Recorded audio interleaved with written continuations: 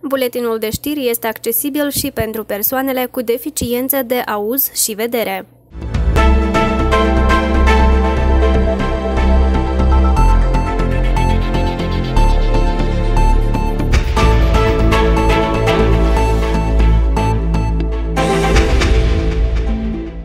Doamnelor, domnilor, sunt Victoria Conea și vă prezint știrile pentru astăzi.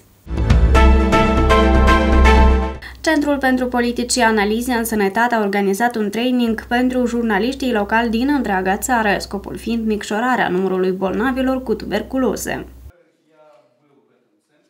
Despre consecințele tuberculozei și realizarea emisiunilor eficiente care să contribuie la micșorarea numărului de bolnavi de această maladie s-a discutat timp de două zile în cadrul trainingului cu participarea jurnaliștilor locali din Republica Moldova. Evenimentul a fost organizat de către Centrul pentru Politici și Analizare în Sănătate. Mai mulți uh, meseriași de la televiziunile Uh, locale regionale se întrunesc aici în centrul țării și în această, acest răstimp discută cum ar putea mai bine să uh, realizeze emisiuni sociale ca împreună să discute asupra modului în care poate fi realizat un program televizat pe teme sociale și dacă să concretizăm pe tematica să zicem așa, contracarării unui flagel social cum este uh, tuberculoza. La întrunire au fost invitați mai mulți specialiști în domeniul tratării și susținerii bolnavilor de tuberculoză, care au ținut discursuri ce țin de simptomele și consecințele acestei boli. Prezenți la eveniment, jurnaliștii afirmă că prin difuzarea produselor mai calitative vom putea micșora numărul bolnavilor. Evident că astfel de seminare de instruire organizate de Centrul PAS uh, din Chișinău sunt binevenite. În primul rând, pentru a ne orienta cum să facem aceste emisiuni, aceste știri, aceste reportaje în prevenirea, combaterea tuberculozei. Evident, noi nu suntem uh, cei care vom înlocui medicii, dar suntem uh, un fel de persoane intermediare dintre medici și ascultători.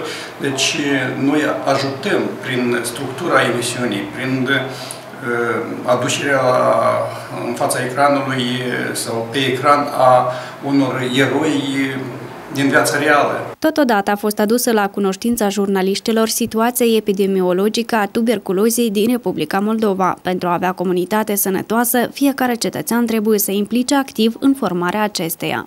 Rolul mass media, rolul televiziunilor este foarte mare în a le comunica telespectatorilor, cetățenilor informația necesară despre această maladie și de a solidariza societatea, pentru că doar în comun, doar simțind sprijinul din partea celor apropiați a comunității, a administrației publice locale, cei afectați de această maladie pot depăși eh, mai ușor eh, stadiul de, de tratament. Deja de mai mulți ani, Centrul pentru Politici și Analize în Sănătate organizează astfel de traininguri cu participarea reprezentanților mass media. Scopul acestora este de a realiza emisiuni informaționale calitative spre difuzarea cetățenilor. repete. Locuitorii de pe strada Luceafărul din orașul Cimișlia s-au adresat postului de televiziune Media TV cu o plângere precum că deșeurile menajere de pe platforma din preajmă nu se evacuează cu săptămânile. Pe această platformă urmau să fie colectate deșeurile separat, plasticul, polietilena într-un container de plasă metalică, iar deșeurile menajere, hârtie, resturi de la bucătărie, gunoi mărunt într-un container închis. De fapt, deplasându-ne la fața locului, am constatat că platforma a fost extinsă, supraîncărcată cu resturi vegetale și animale, de la construcție și gunoi de grajd. Priveliștea este urâtă, dar și mirosul din preajmă este deranjant, mai ales pentru locuitorii din apropiere. Eu, dacă locuiesc aici a doua casă, bate vântul, toate esenile aduce prin florile astea actuale, vedeți, numai băcșite cu, cu pachete, pungi și așa mai departe. Eu în tătă ziua trebuie să mătur, să strâng. Dar nu mă între asta chestia, chestia între aceea, că o miros foarte urât. Toată vremea, iată, cum bate vântul din partea și eu, eu îl simt în tătă ziua că miros urât de la tomberoanele astea, mai ales vara. Acum încă mai, mai merge. Sunt indignați de felul cum sunt evacuate deșeurile și alți locuitori de pe strada Luceafărul. Ei afirmă că la platforma aduc gunoiul și de pe alte străzi, aruncă din mers din automobil sacoșe cu gunoi, dar mizeria și mirosul trebuie să-l suporte locuitorii străzii. Nu a fost tractor, nu a fost mașină, și, dar și trebuie să fie măcar două ori, că pe tot Taiwanul a pus numai Bimbironul ăsta, oricum se mai cheamă. Da, da, numai unul pus. Toți vin cu mașinile din deal și zvârlă aici. Mm-hmm. Asta nu m-a luat. Asta nu numai de la dumneavoastră, de pe stradă. Nu, nu m-a luat și să vedeți, știu, un ceas de vreme e plin iară. Asta cel puțin două ori. Ori spui vă trei bemberoane de astea și să iei două ori în săptămână. Eu îl pun acasă. la, la îngrășăminte, eu îl fac îngrășăminte. În Numai plastica aia o punem la astea. Situații similare se constată și pe alte străzi a orașului Cimișlia. Total în oraș, astfel de platforme sunt peste 70. Majoritatea din ele sunt supraîncărcate cu gunoi, mai ales în perioada de toamnă. Dacă strânge vineri... asta, o luat vinerea trecut vineri, de vineri, dacă strânge sâmbătă, e înapoi, vă garantez. Dar dacă așa e om. El știe că trebuie să adune tot de pe împrejurul căsii. Ia uitați și drojdii, și băligar, și tren, și tot ce le aduce. Pot spun că nu e regulat gunoiul ăsta. Dacă l-au adus aici, trebuie să-l iei. Dar noi nu știm grafic când îl iau ei. Câte ori în stămân sau odată în zi sau... Când la sărbători e fățărnișii, așa e de mare, cici, așa e frumos, dar treci sărbătoarea și iar la loc. Dar asta vara aici nu puteai să treci, așa era călduri de mare, așa era un miros, o... dar și boli, măi, nici nu poți pe vârful nasului. Dar eu trăiesc aici. Dar noi în parte și arunc și de la animale și de pe altă stradă, dar păi multă populație pentru așa containeri.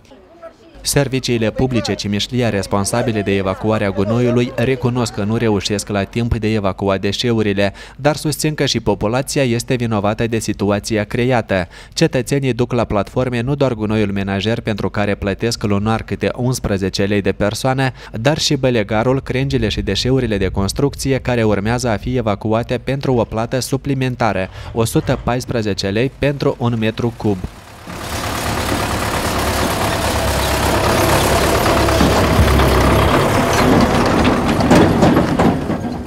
Vine tractorul acasă, să încarcă gunoi, să achită suma respectivă și tractorul, gunoiul ăsta este evacuat. Lumea aduce, adică la platformele astea care sunt în oraș, aduce tot felul de gunoi, cu toate că sunt plăcuțele astea care sunt afișate, unde se interzice evacuarea gunoiului de grajd, a, a animalelor moarte, a, am văzut și test comidă și deșeuri vegetale și așa mai departe. Reprezentanții servicii publice Cimișlia sunt de părere că gunoiul urmează a fi colectat de la fiecare gospodărie de la poartă în pubele mici specializate. Întreprinderea realizează astfel de pubele cu un preț redus, 150 de lei bucata, deși costul lor real ajunge până la 900 de lei bucata. Astfel se va evita stocarea deșeurilor la colțuri de străzi, iar orașul va deveni mai curat. Означает волонтерство, кто такие волонтеры и чем важным они занимаются? Ответы на эти вопросы старшеклассники района Басарабяска получили в ходе круглого стола. Об этом подробнее в следующем репортаже. Что означает слово «волонтерство»? Кто такие волонтеры и чем же важным они занимаются? Ответы на эти и другие вопросы старшеклассники района Басарабяска получили в ходе круглого стола, организованного в лицее Матей Басараб. Главная цель этого мероприятия – проинформировать граждан о неделе волонтерства, которая проходила в Молдове со 2 по 8 октября. Также мы рассказали о том, что была создана общественная ассоциация «Молодежь за право на жизнь». На встрече присутствовали и уже опытные волонтеры из молодежной организации «Фидбэк», которые представили результаты своей работы. Э, волонтерство для меня значит это помощь для людей или даже детей э, разных возрастных э, категорий и разных групп. Волонтерство для меня означает это помогать, помогать всем. Это неограниченная помощь, и я считаю, что помощь – это самое-самое важное. Для ребят, которые знали о волонтерстве только понаслышке, мероприятие дало возможность расширить свои познания в этой области. Волонтерство – это для меня незнакомое дело, но я знаю, что оно очень важно для общества. Молодые люди сегодня должны помогать окружающим, которые в этом нуждаются, и делать что-то хорошее не только для себя, но и для других. Есть люди, для которых творить добро – это норма жизни, а вокруг столько мест, где можно найти себе применение. Поэтому ряды волонтеров может пополнить каждый. Я занималась в одно время волонтерством, но не очень долго, потому что уехала за границу. А сейчас с большим удовольствием возобновлю эту деятельность. Я думал о том, чтобы стать волонтером, но, к сожалению, у меня нет на это времени. Хотя занятия волонтерской деятельностью требуют определенных усилий, удовлетворение от того, что ты бескорыстно совершил хороший поступок, оправдывает затраты времени и сил. Так считают молодые волонтеры из Басарабяски.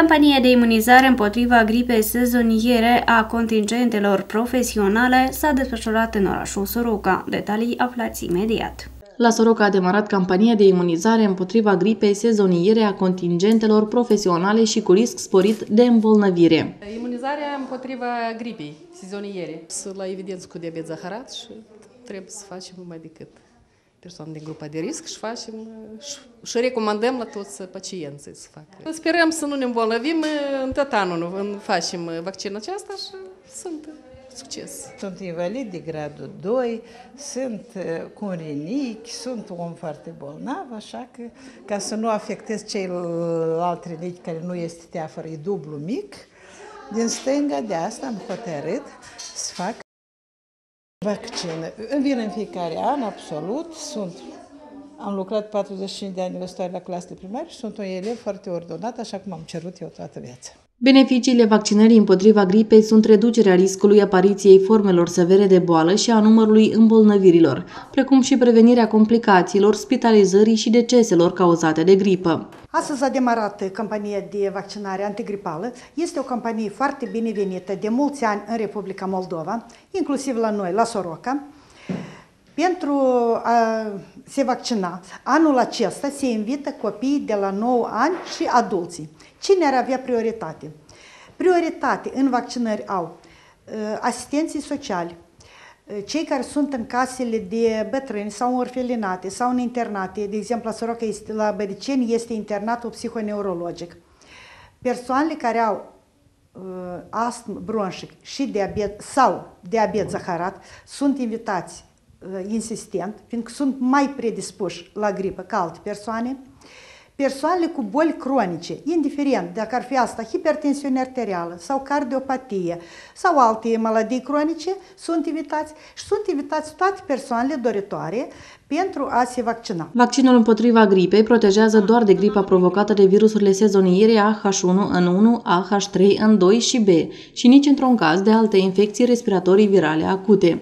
Medicii susțin că vaccinul este unul inofensiv. În ultimii 10 ani, eu personal nu am văzut, dar nici nu am auzit la colegii mei să fie complicații de la vaccin antigripală. Nu este o complicație. Poate să fie o durere minoră locală. Puțin te doare locul inoculării uh, vaccinului. Dar este aproape că nu se simte. Însă și când faci vaccinul, nu se simte. Pe urmă, un pic de durere. Alte uh, nu sunt. Pacienții trebuie să cunoască că astăzi, dacă au făcut vaccinul, în ziua când au făcut, ei mâine nu sunt protejați. Pentru a fi protejați de gripă, este nevoie să treacă de la 15 la 25 de zile.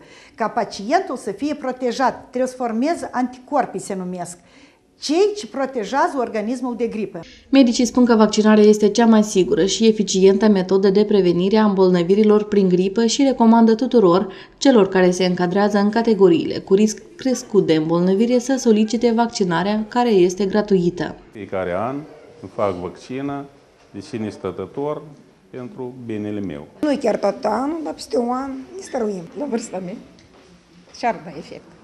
Eu atâtea lecuiri am primit că de mult pare că n-am încredere niciodată.